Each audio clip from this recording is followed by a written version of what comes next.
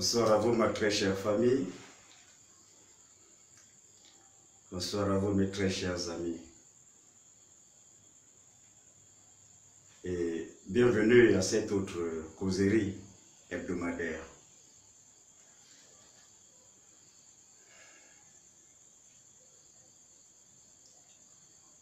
Nous allons parler des traitements traditionnels aujourd'hui. Alors, installez-vous. Merci encore. Bonsoir, Belle. Bonsoir. Merci beaucoup pour les j'aime.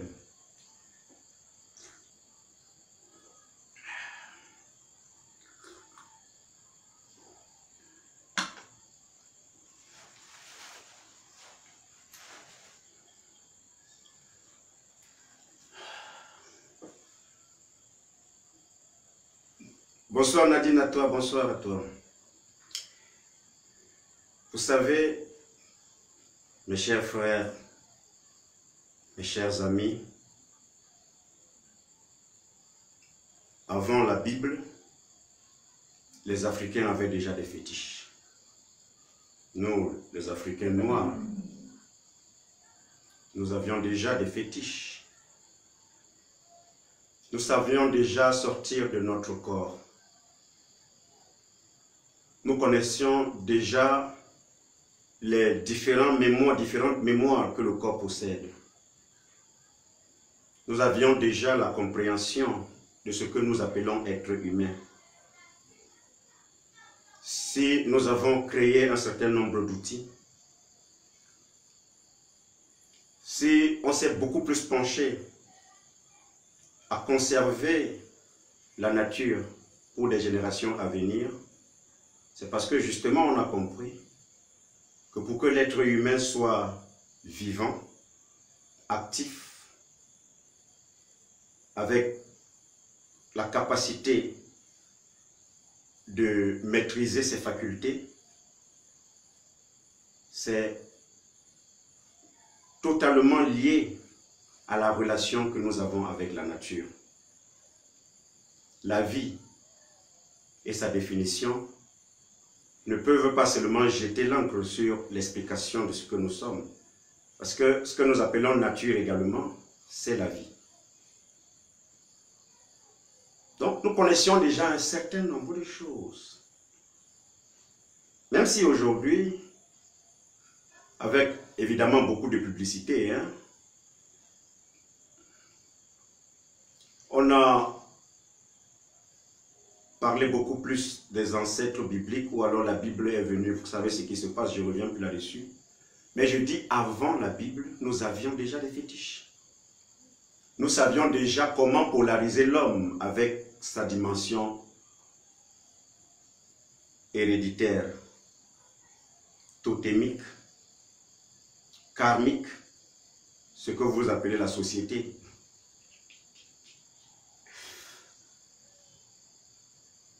Cosmique. Nous avions déjà, nous savions déjà comment polariser l'homme. C'est pour ça qu'on a parlé de la dot. Aujourd'hui, beaucoup de cultures, malgré tout, ont gardé le caractère tout simplement de fierté de ce qu'on appelle la dot. Donc nous savions déjà pourquoi nous devons égorger une chèvre. Nous savions déjà pourquoi on doit faire des bains avec le sang de la chèvre. Peut-être que ceux qui ont approché l'Afrique ont voulu évidemment, ont fabriqué des masques pour présenter le noir comme étant le Satan, comme étant le démon. Sauf que nous, on a une signification de ce que nous appelons le démon. Donc nous avions déjà un certain nombre de choses nous avions déjà des marabouts, ce qu'on appelle des initiés. Ne confondons pas avec le marabout religieux, parce que le mot marabout, naturellement, vient de la religion. Mais pour que je vous explique ça et que vous compreniez avec mes petits mots, les mots les plus simples, c'est que marabout chez nous veut dire grand initié. On peut aussi l'appeler le grand prêtre. Lorsqu'il a atteint une certaine maturité, il peut décider de se réincarner ou pas. Il peut décider. Il peut également décider de ne pas se réincarner sous la forme d'un bombardement cosmique des différentes planètes qui nous entourent. Donc quand nous parlons souvent des voyages astraux, il s'agit de parler de ces petits astres qui nous entourent. Non, l'homme a dépassé cette dimension. Il n'est pas dans une dimension astrale. Il est dans une dimension cosmique. Il a la faculté, il a la maîtrise de ce qu'il est. Voilà. Donc, on avait atteint un certain nombre de choses. Ceci dit, un traitant a sa place dans la société africaine, noire. Je préfère africain parce que vous voyez, vous êtes loin, vous êtes au Canada, vous êtes en Russie, il faut utiliser le terme africain, mais ce n'est pas comme ça qu'on nous appelle. Euh, un jour, on aura l'occasion. Alors, il y avait donc le grand initié, le grand prêtre, celui qui pouvait, n'est-ce pas, se transformer en n'importe quoi désormais. Il peut éclairer une pièce obscure. Il produit de la lumière. Il en a la capacité. Il a la capacité de marcher dans du feu, sur la braise. Il peut se perforer la joue sans, avoir, sans plus avoir mal. Tout lui appartient désormais. Sa respiration, son corps physique, il n'a de compte à rendre à personne. Sauf qu'il a l'humilité de se reconnaître comme étant l'infiniment petit. Donc par respect pour la nature, il adopte donc un comportement de père parce qu'il peut décider de qui doit mourir dans sa communauté. Il peut se nourrir de la chair humaine ou de n'importe quoi il a les capacités de les avoir. Ça, nous l'appelons le grand initié. C'est-à-dire que il est comme Dieu, en fait. Et on l'appelle donc le Fils de Dieu. C'est ça l'enseignement que j'ai reçu de mes ancêtres. Chacun de nous doit donc s'évertuer à avoir, à atteindre cet état, l'état de la maîtrise ne serait-ce que de nos premières facultés qui sont nos sens. Donc, après lui, il y a un autre initié qu'on appelle le voyant. Le voyant, lui, il a un troisième œil qui voit tout en fait qu'il se ferme les yeux ou qu'il se bouche les oreilles, je ne sais pas, il voit. Il sait ce qui se passe. On lui montre ce qui se passe dans son entourage. Parce que quand les communautés immigraient, ils amenaient, ils amenaient avec eux toutes ces personnes que je suis en train de vous citer. Le voyant était capable de voir un certain nombre de choses, y compris même le jour même de la mort d'un membre de sa communauté. C'est toujours les grands initiés là. Seulement, il vous envoie maintenant chez le traitant, c'est-à-dire le féticheur. Le féticheur devait protéger la communauté des foudres de la forte pluie, des désastres, des morts incertaines, c'est lui qui devait construire le totem, c'est-à-dire l'amplification, l'amplificateur des énergies de cette communauté. C'est ça le totem en fait. C'est le féticheur qui le fait. Malheureusement, avec le temps, nos féticheurs se sont tournés beaucoup plus sur ce qui détruit plutôt la communauté. Alors que ces choses sont censées servir cette communauté, élever les membres de cette communauté. Parce que c'est le village qui a produit l'enfant. Et c'est le village qui accompagne l'enfant. Puisque le père et la mère sont inclus dans ce village. C'est pour ça que lors des cérémonies de la dot, on déconnecte la femme de certaines mémoires, de certains clichés de sa famille. On lui, on dit, on dit voilà, parce que justement nous voulons désormais qu'elle soit la nôtre, et notre enfant, et notre épouse, et notre mère, nous offrons à la nature cette chèvre. On n'est pas là pour faire des spéculations ou bien des spectacles à la con. La chèvre a une place. Nous ne pouvons pas acheter cet enfant. C'est désormais la nôtre. Nos communautés sont donc liées et on fait le lien de sang. Où est le diable là-dedans?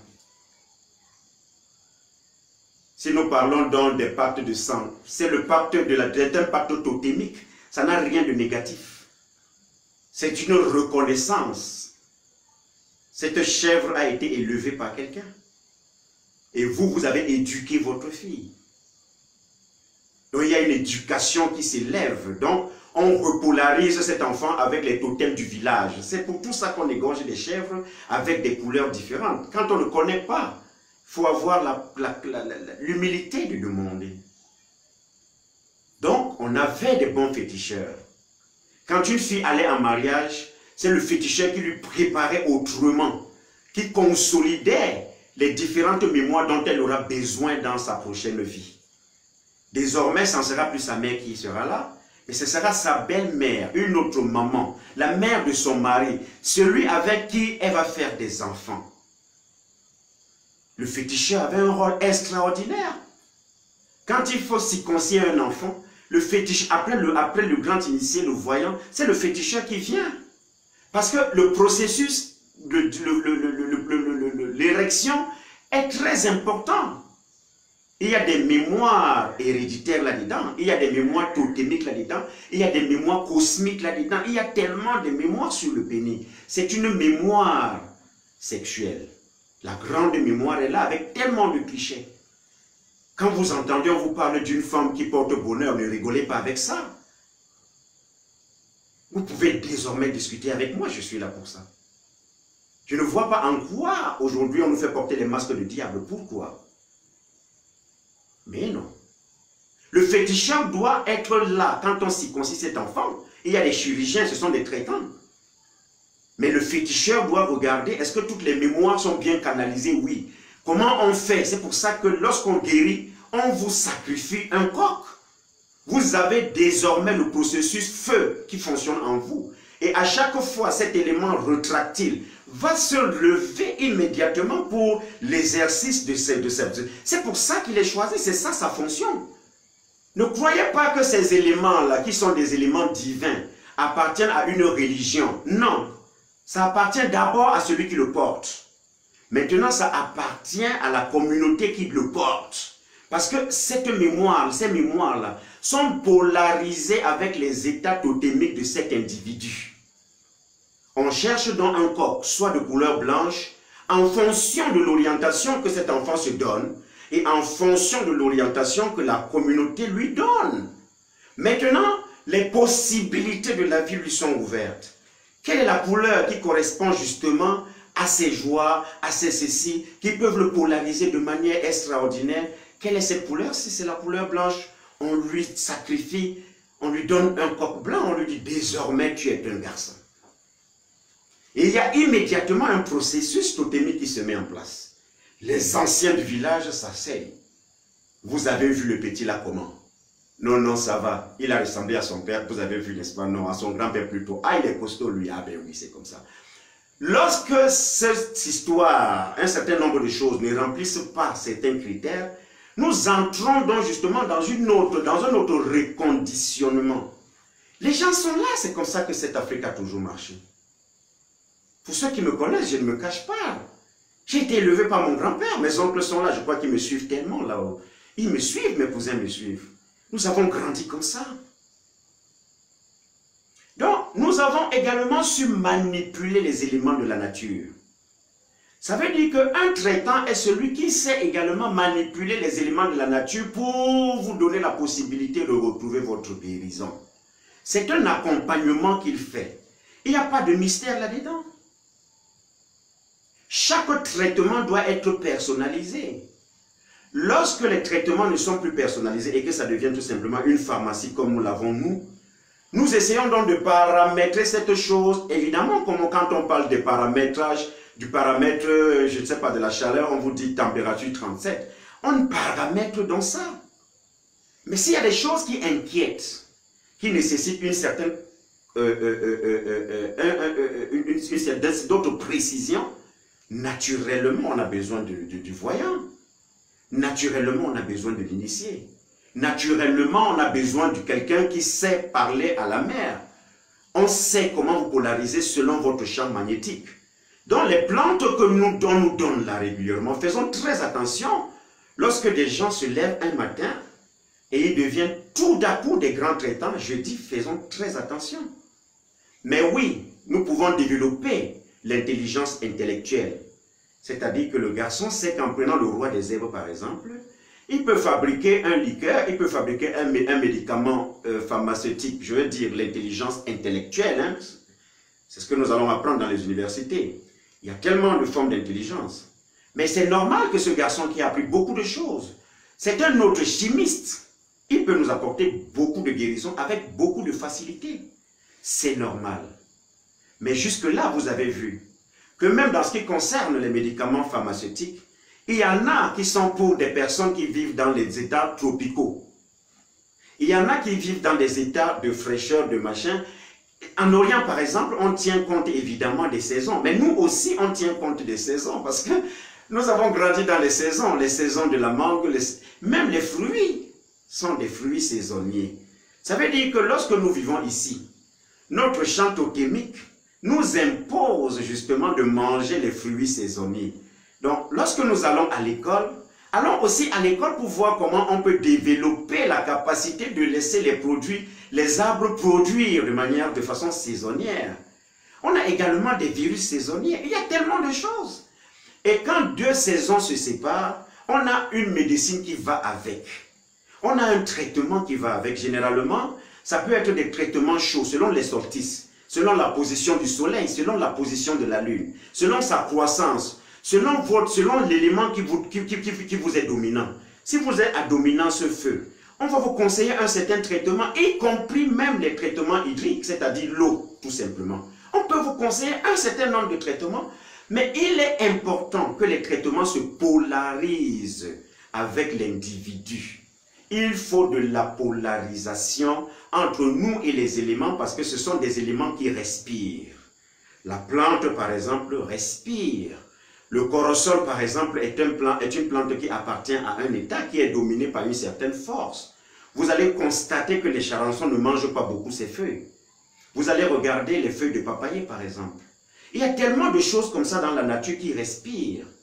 Et lorsque nous avons maintenant des mémoires abstraites que nous devons purifier, naturellement, nous n'allons plus, n'irons plus cueillir la plante avec les mains à tout moment. Non. Parce que quand on cueille la plante à tout moment sans rien dire, on la ramène, on est tout simplement dans un traitement physique. Ça peut être homéopathique, mais ce qui est sûr, c'est pour traiter le corps physique. Mais il n'y a pas que la mémoire physique qui est là. Il y a tellement de mémoire. Si nous rentrons par exemple dans la mémoire énergétique, c'est vrai, le moustique vous a piqué. Mais vous êtes une personne à dominance feu. Vous êtes en train, vous avez là avec vous un, parasite qui est en train de vous détruire complètement les globules rouges. Vous faites comment? C'est bien beau de vous conseiller un certain nombre de plantes, mais vous n'appartenez pas qu'à vos mémoires biologiques. Vous appartenez également à des mémoires héréditaires. Donc il faut penser également à des mémoires, à des mémoires cellulaires. Que disent vos cellules? Que disent vos gènes? Ça veut dire que la fatigue que votre palu va entraîner, même si vous êtes en train de prendre des médicaments, cette fatigue va impacter les mémoires abstraites. Donc du coup, lorsque vous venez rencontrer un, initié, ne vous étonnez pas que le pauvre Africain est en train de te dire, ouais mon fils, il y a une certaine malchance qui t'environne là. Tu es en train de vivre dans un certain halo que je ne reconnais pas. Mais c'est normal. Parce que il est dans un monde abstrait. Vous voyez, le petit moustique vous a piqué. Et il y a les parasites qui sont déposés dedans, qui sont en train de ronger vos globules rouges. Naturellement, la médecine intellectuelle va vous apporter des solutions, c'est vrai. Mais ce palu est en train d'entraîner des fatigues qui dépiècent vos mémoires, qui vous, qui vous mettent dans une position de faiblesse, de proie, alors que vous êtes à dominance feu. Donc vous êtes quelqu'un qui devrait régulièrement bouger, toujours en activité, toujours en train de se lever, toujours en train de... Toujours quelqu'un de léger. Voilà que la fatigue vous assombrit totalement le reste des clichés. Or, il vous faut de l'action pour vous réaliser. Il faut rencontrer des gens. Il faut bouger, monsieur. Vous n'êtes pas un monsieur casanier, vous êtes là pour l'extérieur. C'est l'extérieur qui vous attend. Voilà comment vous avez totalement dégradé vos différentes mémoires. Ce sont des mémoires abstraites. En quoi cela est diabolique lorsqu'un papa vous conseille donc un autre traitement? Alors, lorsqu'il faut donc traiter les mémoires abstraites, moi je prends mon cas, je vais souvent en brousse, je vais rencontrer d'autres vieux papas. Nous allions souvent danser sans caleçon sur la plante, à côté de la plante. nous lui versons des liqueurs, généralement c'est le harki, parce que c'est ça que ça reconnaît. Et nous dansons, on dit à cette plante, nous sommes là parce que nous voulons guérir un tel. Laisse-nous danser pour te montrer notre joie. Oui, nous nous sommes d'accord. Alors que dis-tu? La plante va explorer le, processus parce que c'est tellement, il y a tellement de contacts que vous pensez qu'il y a une séparation entre la plante et nous. Il n'y a aucune séparation. Il en est de même pour tous les outils que nous avons, l'eau par exemple. Il n'y a aucune séparation, il n'y a aucun mur entre les différents transferts d'énergie. Le marge, c'est-à-dire le traitant donc, ne peut, peut ne même pas cueillir la plante, mais absorber son pouvoir. Celui-ci va donc vous le transmettre. Soit il va prendre le pouvoir de la plante et le déposer dans un vase tranquillement d'eau. Et vous dit, mon fils, lave-toi avec ça. Donc à tout moment, selon les grandes connaissances, le traitant n'est pas celui, quelqu'un avec qui on doit s'amuser. Et lui non plus ne doit pas prendre à la légère ces traitements. Voilà la situation. Comme ça, je crois que je vous ai expliqué. Après le traitant donc, nous avons la sorcière, qui est donc la maman qui traite les maladies du ventre et de la femme.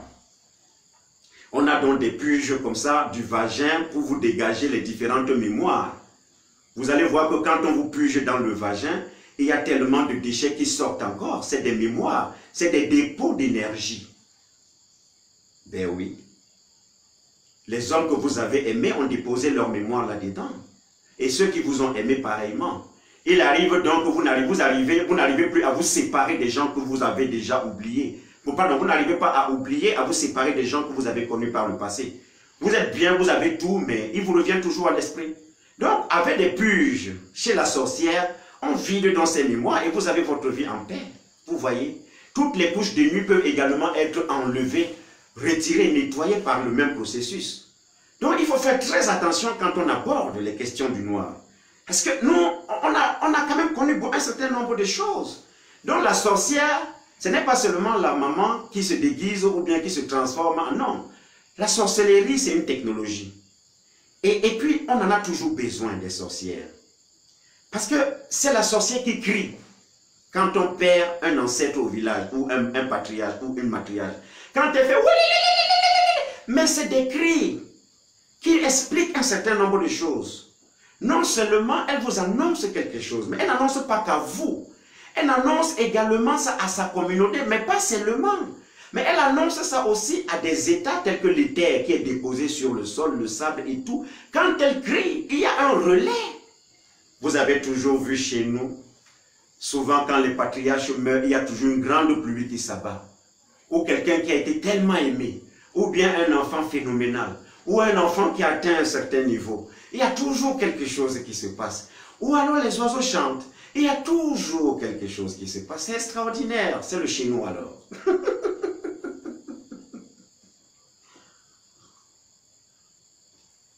Alors, quand je dis ça, c'est la sorcière qui prépare ce qu'on appelle chez nous le Ngonda Diba, le pistache du mariage. C'est elle qui passe l'enfant à ses parents.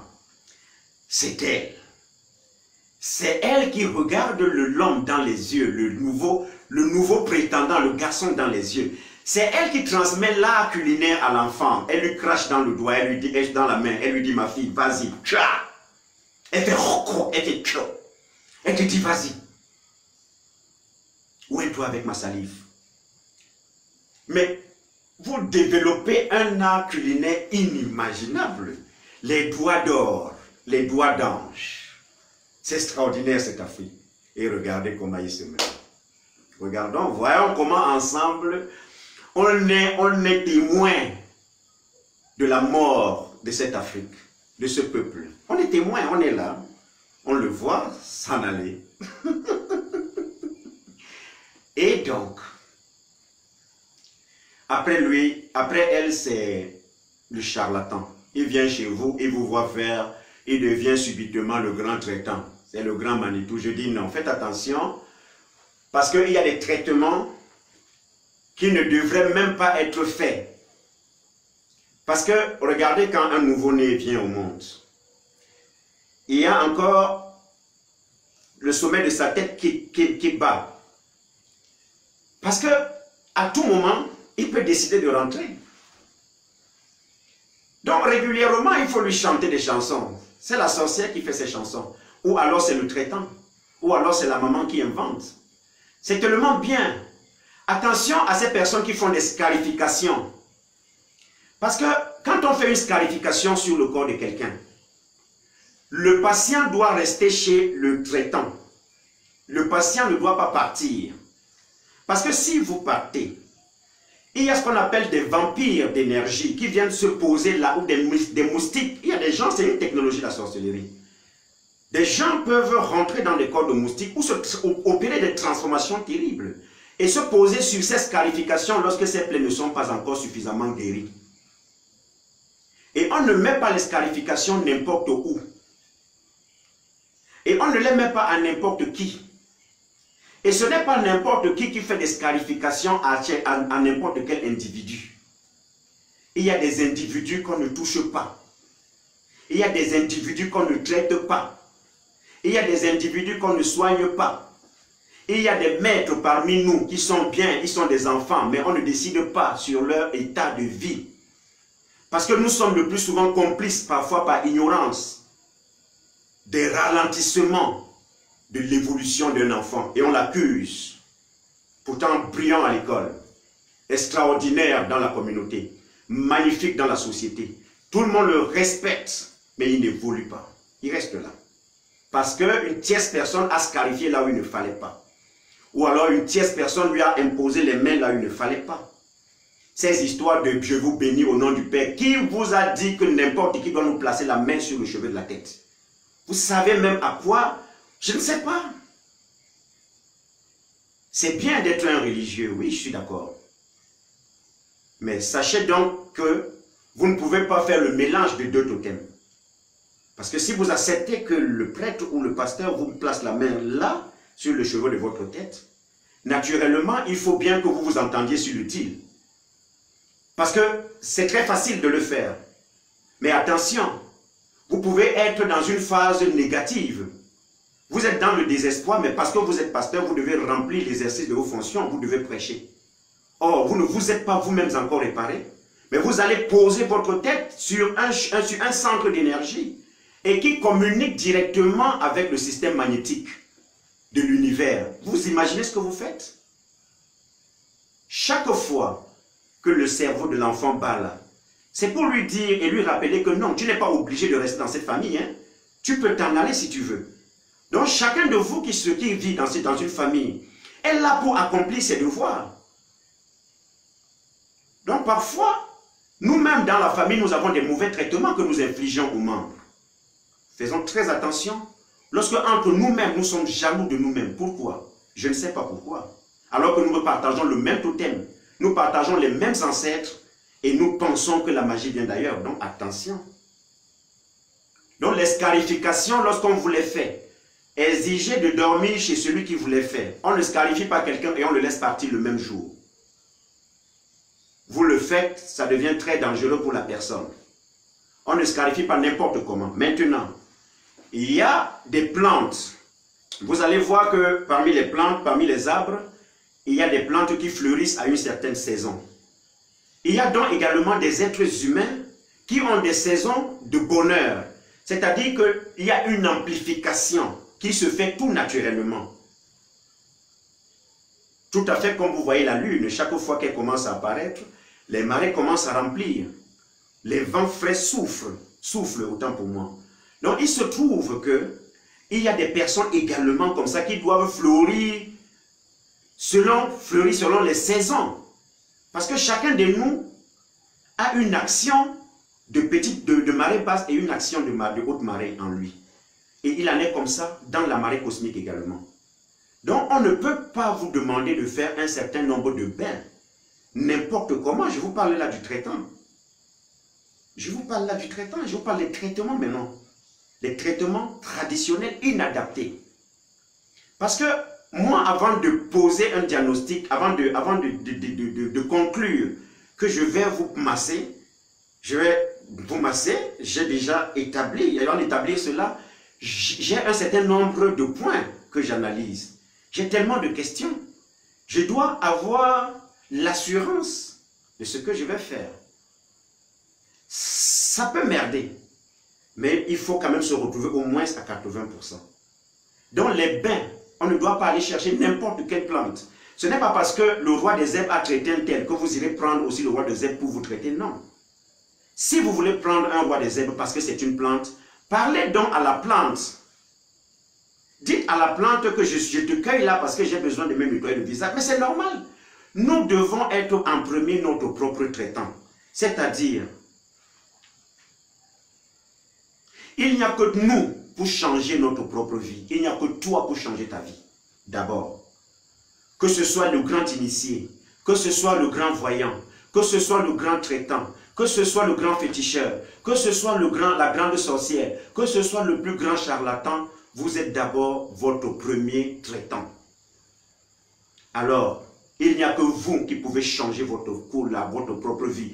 Tous les autres là, ce sont des outils que vous aurez besoin quand vous avez besoin d'un support. Vous n'êtes pas obligé d'aller chez n'importe qui. Vous n'êtes même pas obligé d'aller à l'église. Vous pouvez également sortir tous les matins et la nature vous donne ce droit. Parce que vous êtes un être humain. Parce que vous vous êtes guéri.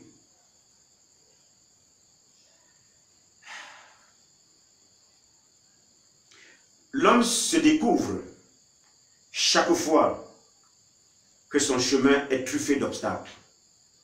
Or, vous avez toujours été un grand explorateur quand vous étiez enfant. Vous avez voulu tout explorer dans la maison. Vous avez touché à tout dans la maison.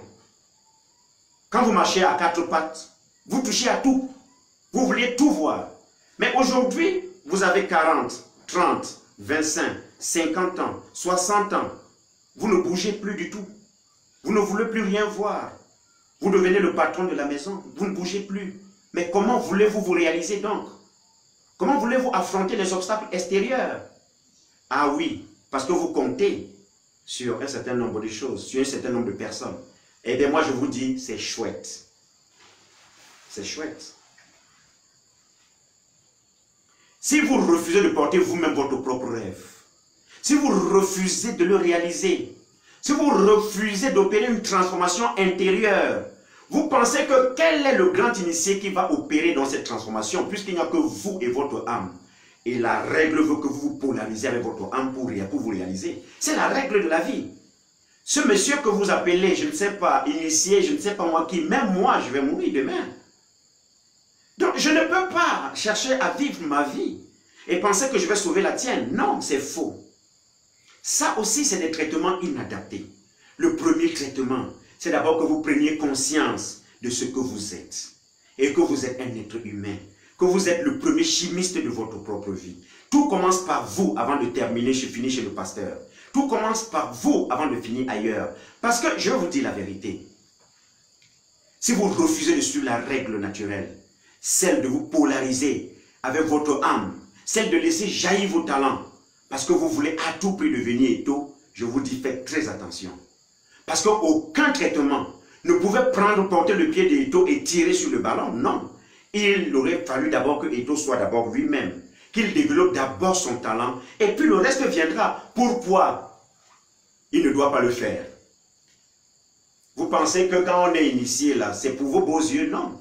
C'est pour conseiller un certain nombre de choses. C'est pour accompagner quelqu'un. C'est parce que les gens ont des questions et il faut des réponses. Mais oui, il faut toujours que quelqu'un affronte la vie autrement pour vous dire, écoute mon fils, tu es sur le bon chemin. Donc c'est normal que les gens vous donnent des talismans, pourquoi pas? Mais le talisman n'est pas Dieu. Ce qui est Dieu, c'est votre âme. Ce qui est Dieu, c'est votre talent. Ce qui est Dieu, c'est votre compétence. Ce qui est Dieu, c'est votre façon de voir les choses. Ce qui est Dieu, c'est ce que vous voulez devenir. Ce qui est Dieu, c'est le rêve que vous portez. Ce qui est Dieu, c'est la petite voix qui vous parle à l'intérieur de vous. Il y a toujours une voix qui vous dit qui vous êtes. C'est ça qui est Dieu. C'est ça qui est Dieu. Ce n'est pas moi. Vous êtes votre propre élément. Parce que quand quelqu'un vient maintenant et il vous parle des traitements à distance, parlons-en.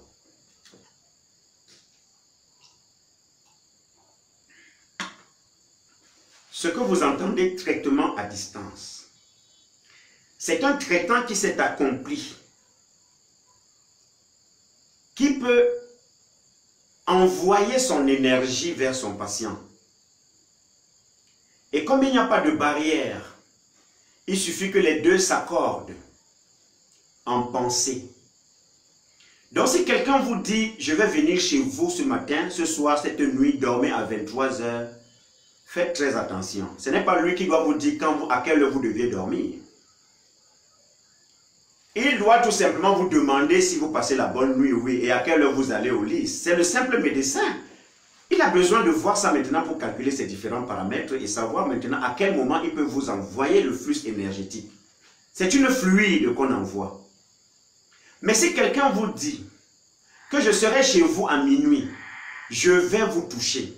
Sachez que chaque fois qu'il aura besoin de revenir ici au Cameroun où il est parti, faites très attention, il aura besoin d'un carburant. Et ce carburant, c'est votre propre énergie. Donc, il ne vous donne rien pour rien. Il vient chez vous. Il, il vous soigne. Je ne sais pas ce qu'il fait s'il vous soigne vraiment. C'est possible. Parce qu'il a la faculté, il a la maîtrise d'un certain nombre de choses. Il sait utiliser les éléments de la nature. Ça, c'est vrai. Mais il faut qu'il soit un très grand initié qui sache utiliser son propre carburant pour l'aller et retour. Mais généralement, les grands initiés ne se déplacent pas. Non, ils ne se déplacent pas. C'est un fluide. Et vous avez ce même traitement dans la Bible. Je vais emprunter ça, hein. Parce qu'il faut, il y a, je sais qu'il y a beaucoup de chrétiens parmi nous, il faut qu'on nous explique pour vous dire que rien ne se sépare de la réalité. La réalité est Dieu lui-même. Dans la Bible, on vous dit qu'il y a une femme qui a touché le vêtement de Jésus. Mais Jésus ne l'avait même pas vu. Et pourtant, c'était un grand voyant qui pouvait voir tout autour de lui. Mais il n'a pas vu que quelqu'un l'avait touché. Il a senti une décharge. Il avait perdu là la moitié de son énergie. Et il se retourne pour demander qui l'a touché. La femme humblement lui dit, Maître, c'est moi. Parce que j'ai eu la foi. La foi, c'est un monde où le doute n'existe pas. Un traitant n'a pas de doute, puisqu'il pose un certain nombre de diagnostics. Il sait ce qu'il fait. Évidemment, vous comprenez que si vous avez un bon traitant, vous saurez même à partir d'aujourd'hui faire la différence entre un traitant et un charlatan. Parce qu'un bon traitant ne va pas se déplacer. Le jour qu'il va se déplacer pour venir là, il ne va pas vous demander de porter telle couleur. Il ne va pas vous demander de vous habiller en tel, en tel nombre, de, en tel ceci. Il ne va pas vous demander de ne pas faire l'amour. Pourquoi vous ne feriez pas l'amour? Il y a quoi s'il vient vous traiter justement pour vous guérir? Mais le sexe est aussi un outil de guérison. Pourquoi il doit vous interdire de coucher avec votre homme ou bien de coucher avec votre femme? Ça veut dire qu'il y a un souci. Donc en couchant avec votre homme, ça neutralise son processus de retour. Et il faut faire très attention avec ces personnes qui vous vendent ce genre de, de, de rêves. Faisons très attention. On a déjà vu également des grands traitants entre nous qui me font vraiment rire. En même temps, ils utilisent les encens, les bougies, les ceci, les cela. Et puis, ils mélangent ça avec un certain nombre d'herbes de chez nous. Et puis, c'est tantôt, il faut égorger la chèvre. Mais on est où là? Mais on est où? Mais on est où là, mes amis? Mais on est où? Mais on est où là? Je ne comprends pas. Des gens qui vous disent que parce qu'ils sont des prêtres, ils s'appellent des prêtres exorcistes, et puis ils viennent chez vous, ils viennent planter des croix partout. Mais non, monsieur. Mais non. Il faut être un vrai prêtre exorciste. Parce que les croix que nous plantons sur les entrées de notre, sur les, portes d'entrée de notre porte, ce sont des croix qui, se, qui se communiquent entre elles. Donc c'est un sentier, c'est une route que nous avons placée là. Et un jour, ce que vous avez planté là peut perdre l'énergie. Parce que c'est un amplificateur d'énergie si c'est vraiment un bon exorciste qu'il a placé. Mais si c'est un faux exorciste qui a placé ça, il a placé un poison qui va intoxiquer votre maison. Il chasse quoi? Je ne sais pas. Il chasse qui? Je ne sais pas. Même avec de la simple eau, vous pouvez naturellement, vous l'avez beaucoup de fois, avec un peu d'huile de palme, vous pouvez vous frotter votre corps régulièrement si vous avez des soucis. Si vous avez un problème d'une fluide qui, ne, qui, qui est en train de vouloir posséder votre vie. Je dis avec de l'huile de palme, tout simplement, vous pouvez le faire. D'autres peuvent aller avec de l'huile d'olive. Maintenant, si ça persiste, il y a un certain nombre de bruits qui sont identifiables. Il y a des déplacements des lits. Il y a des matelas qui se retournent. Il y a des vitres qui se cachent chaque fois que vous entrez. À ce moment, vous avez besoin d'un traitant. Donc attention, avec des histoires de peur que vous développez, parce que vous êtes toujours, une fois que vous êtes devenu chrétien, vous ne valez plus la peine, c'est désormais le diable qui vous pour dessus. Vous êtes dans une église où il faut chasser le diable tous les jours de la vie. Je dis, il y a un souci. Pourquoi une église ouvre depuis 10 ans et depuis 10 ans on chasse, les, on le démon là-bas dedans? Mais qu'est-ce qui n'a pas marché? Pourquoi ce démon est-il si rebelle? Mais ouvrons donc les yeux mes chers frères. Ouvrons donc les yeux. Il s'agit de notre corps. Il s'agit de notre vie. Il s'agit de notre existence. Avant de la confier à quelqu'un, sachez déjà discuter avec cette personne. Posez les questions à votre traitant comme vous comme vous les posez à votre médecin. Moi, ma consultation dure deux heures de temps. Parce que je ne suis pas un kiné. Je suis un réparateur du corps physique et de l'esprit. J'ai le temps de rentrer dans tous les éléments. J'ai deux heures de consultation. Parce qu'on ne blague pas avec le corps. Et j'attends tellement de je m'attends à tellement de questions parce qu'il s'agit d'abord de concevoir un deal entre mon patient et moi. C'est une question d'assurance. C'est une question de confiance. Un traitant n'est même pas obligé de vous prescrire une plante ou de vous battre avec un morceau de balai. Vraiment, il n'en a pas besoin. Si c'est un traitant accompli, il peut tout simplement rester à partir de sa chambre et communiquer avec vous. C'est un problème de fluide. Ça n'a pas un autre problème. Ce n'est pas une affaire, non. Mais s'il se déplace pour venir jusqu'à vous, alors qu'il sache qu'il a un carburant qui peut l'amener et le ramener. Mais il n'a pas à vous conditionner sur ce qu'il ira faire, non. Je dis, ouvrez les yeux.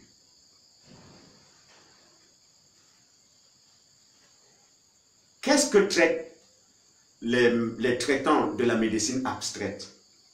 Il traite ce qu'on appelle les corps de mystère. Vous avez le corps physique, c'est le corps biologique. On peut le blesser, c'est le sang qui va couler. Mais chaque fois que vous avez des soucis, vous voyez que vous perdez l'appétit.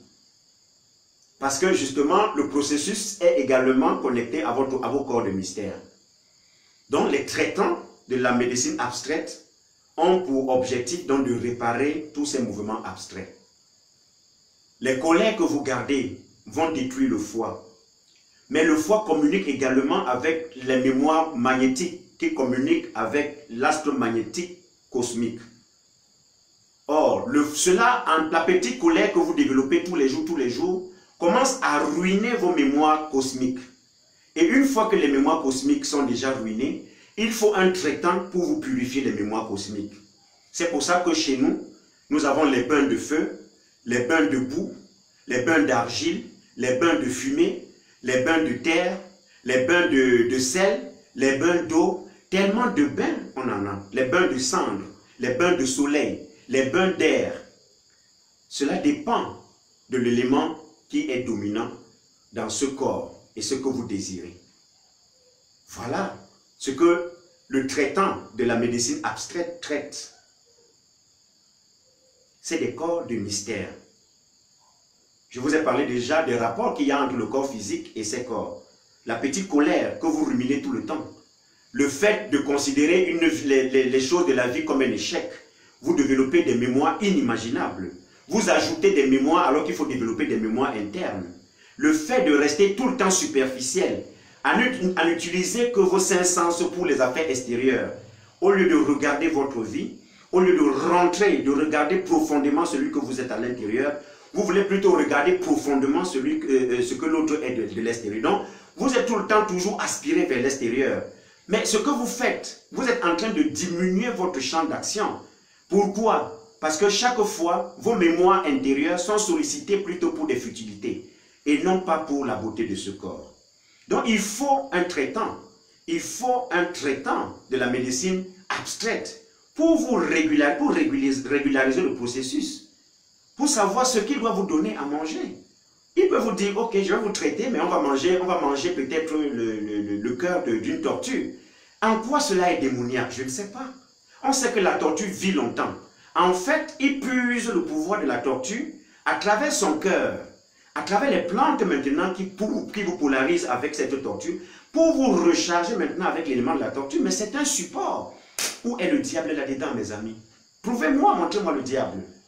Alors, rendez-vous jeudi prochain lorsqu'il sera 19h pour notre séance de questions-réponses. Mes chers amis, merci beaucoup pour ce soir. J'espère que j'ai essayer d'apporter ma part de petites pierres à la construction de votre belle case. Bonne soirée à vous et à jeudi 19h. Merci beaucoup.